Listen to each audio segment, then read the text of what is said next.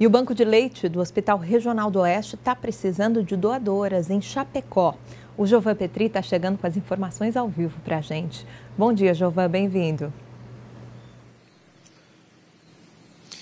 Obrigado, Marta. Bom dia para você e para todos que nos acompanham em todo o estado de Santa Catarina. Isto tem se tornado, de certa forma, recorrente a necessidade do Hospital Regional do Oeste, ali da ala de, do Banco de Leite, na necessidade de buscar novas mulheres para que possam ser doadoras de leite. Isso é um papel importante, até porque há muitos bebês é, recém-nascidos que estão nas UTIs neonatais e que, enfim, por outro lado, também as mães não, por algum motivo, não conseguem oferecer o leite do peito. E aí sim entra esse trabalho importantíssimo de solidariedade de outras mães que têm o leite e até em excesso que possam fazer esta doação. Por isso, o Hospital Regional do Oeste, através do Banco de Leite, pede que estas mulheres e você que está nos assistindo e é aqui de Chapecó ou da região, possa fazer parte desta campanha. Até porque o trabalho que começou no ano passado já atendeu muitas pessoas, muitas mulheres, muitas mães, muitas crianças e já foram captados neste tempo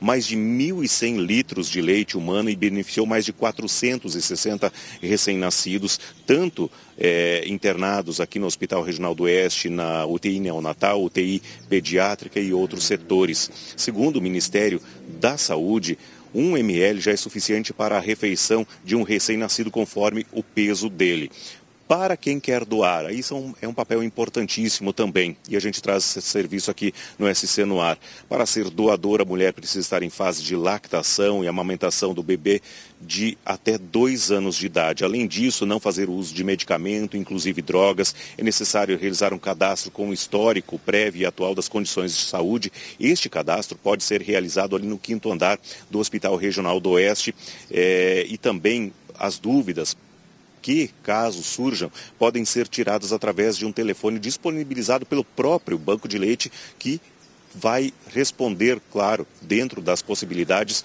as dúvidas, enfim, que as pessoas, as mães possam ter, que é o 49-3321-6576. Para fazer o cadastro, como eu falava há pouco, é necessário apresentar um documento de identificação pessoal, a carteira de pré-natal, carteira de vacinação do bebê, isso das 7 da manhã às 7 da noite, de segunda a sexta-feira, ou melhor, de segunda a segunda, ou seja, há sempre profissionais lá de segunda a sexta, no sábado, domingo, enfim, é uma possibilidade de as mulheres poderem ajudar essas crianças que estão, por algum motivo, internadas lá na UTI do Hospital Regional do Oeste. Volto com vocês no estúdio.